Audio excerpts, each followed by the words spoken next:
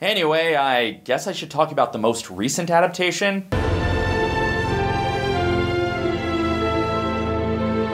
I don't really want to. Not because of the show itself, but because the discourse is frankly exhausting. On the one side, you've got the dumbest people in the world mad that there are some actors who aren't white on the show, or that a girl is a good fighter, and they're yelling at Neil Gaiman about it. Again, dumbest people in the world. On the other side, you have the very legitimate concern that this Tolkien adaptation can only legally use material from some of the books, books that barely touch on the era the show is set in, so most of the show has to be made up from whole cloth. And that exacerbates the issue you get with any Tolkien adaptation the fact that all this lore was created by one man and now a team has to figure out how to filter it to a different medium and capture that man's spirit without that man's input. But on the plus side, you do have the fact that the Tolkien estate worked much more closely with the creators of this adaptation than just about any other Tolkien adaptation, but that's still not the same as the man himself working with the creators of this adaptation. And oh yeah, then there's the Oliphant in the room that this Tolkien adaptation is being funded by the actual real life Sharkey. This is all the stuff you have to wade through before you even watch the show.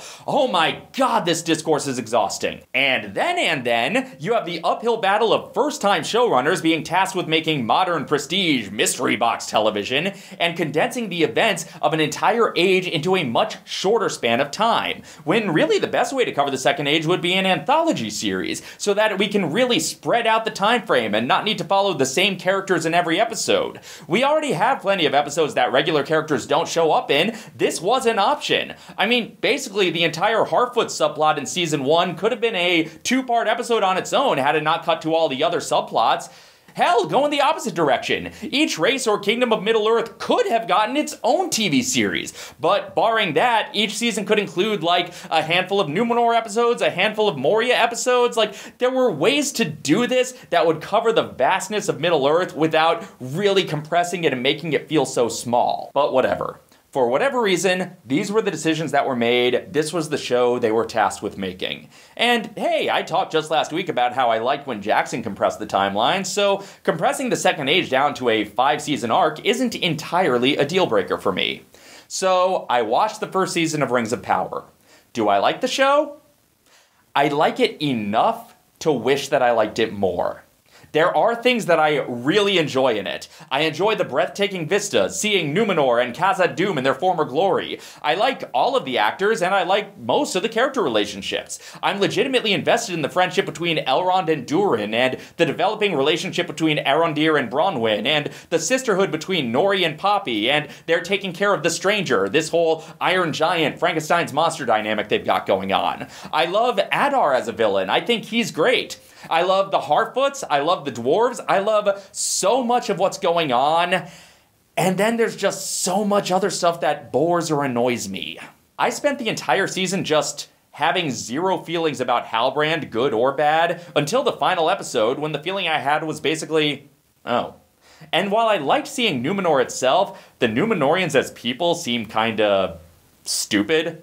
Elendil and Míriel are the only ones who seem to have a hint of the Numenorians of legend. I'm sure Isildur will grow into his own, but he's not there yet. I was impressed by the Numenorian landscape, underwhelmed by the Numenorian people. Speaking of growing into their own, I really do dig Warrior Galadriel, but I wish it was tempered with Galadriel's actual wisdom because boy does she spend most of the season being blinded by revenge, a trait that I could see taking Galadriel for maybe a moment, but not for this long. And I suspect that they're setting up an arc to have her grow into her wise self that we all know, but she should already have more wisdom than this. But there's still a lot of what I love from Tolkien and Tolkien adaptations in the show. Tolkien's often contradictory themes of great men rising to the occasion and small acts from humble people turning the tide are both at play here, and I think they're both handled well. And yes, there are other things that don't feel Tolkien esque that take me out of it, but that's true of just about every Tolkien adaptation, no matter how good. That is handsome, Orc. Ultimately, this first season had some high highs, though not nearly as high as the highs of the Jackson Rings trilogy, and some low lows, though not nearly as low as the lows of the Jackson Hobbit trilogy. I liked it enough to keep watching next season, and I hope it gets even better. I think every single problem that I personally have with the show stems from applying modern sensibilities to this lore. Now, I don't mean making it woke, because if that's legitimately a thing you're complaining about, don't worry, you'll be old enough to get a learner's permit someday. I'm talking modern, capitalistic, studio driven filmmaking sensibilities, trying to reach all four quadrants, drive engagement, all those good boardroom buzzwords. I'm not definitively saying that the problems were all from studio mandates. Maybe this was the show the writers wanted to make. Maybe it's even the show the Tolkien estate wanted. But the sensibilities that led to these decisions, whoever made them, were influenced by the way modern content is. And as much as I love a lot of modern shows and movies that are made with these same sensibilities, marrying those sensibilities to Tolkien's world felt hollow to me. But that's the cultural landscape the show was made in, just like all these other adaptations were made in their own cultural landscapes, with all the good, the bad, and the confusion that entails. And as such, even if I don't love all the results, or even if I think the attempt itself may have come from a misguided place, I can still appreciate the attempt to filter Tolkien through this lens, just like I can appreciate all these other attempts.